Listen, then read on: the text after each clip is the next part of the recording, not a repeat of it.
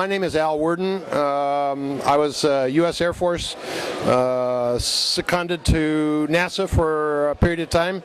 Uh, I was on the backup crew for Apollo 9, or I'm sorry, the support crew for Apollo 9, the backup crew for Apollo 12, and I flew as a command module pilot on Apollo 15. Uh, we launched in uh, July of 1971, 36 years ago.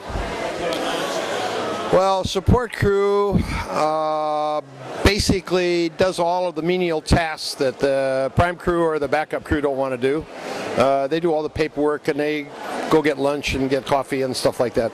Uh, and they do most of the spacecraft preparation getting ready for launch. Uh, of course, the backup crew trains along with the prime crew. Uh, they train in the same way because if somebody, like on Apollo 13, if somebody gets taken off the flight, then they have to step in. So basically, they're trained pretty much along with the prime crew, and of course, the prime crew makes the flight.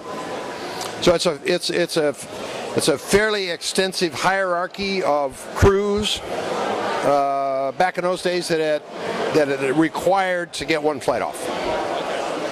And on uh, Apollo 15, um, understand there were some problems uh, with uh, crew restraints and, and, other issues during the flight. Maybe the issue had with, with the crew restraints, the uh, seats in, in, the, the command module?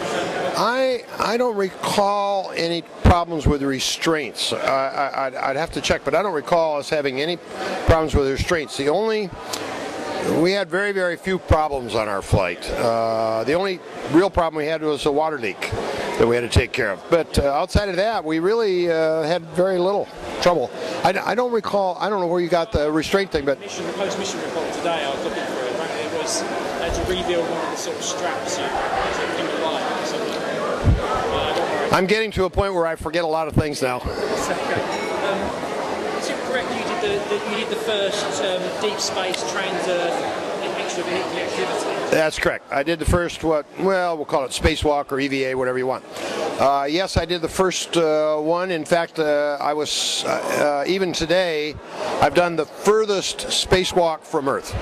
Uh, the reason for the spacewalk was that we had several. We had two very large cameras that we carried along in this in in our um, service module.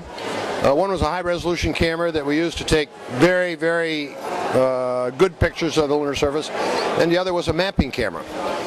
Those two film cassettes had to be removed from the service module brought into the command module so we could get them back through the atmosphere.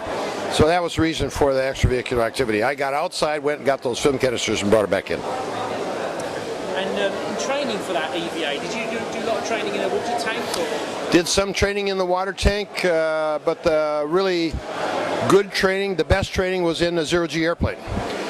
See, there's a problem with the water tank.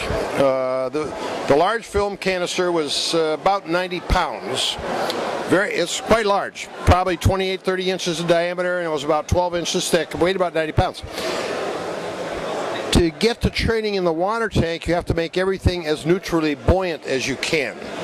So a 90 pound canister turns into a shape the same size but made out of Teflon with a lot of holes in it to reduce the weight.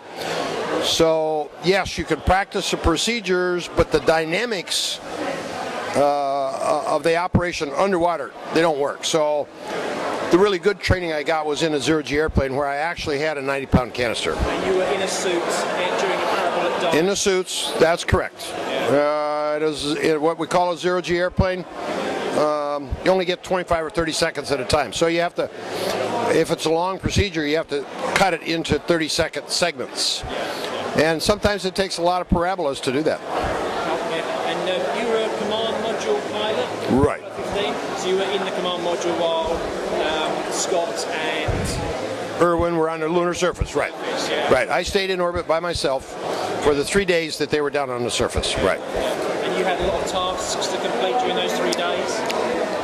Had enough to do that um, I probably averaged uh, maybe four hours sleep a day because I was so busy doing things the rest of the time. So there was a lot to do. Yeah. yeah you, you didn't miss them too much. I didn't miss them at all. No. They're on their own down there.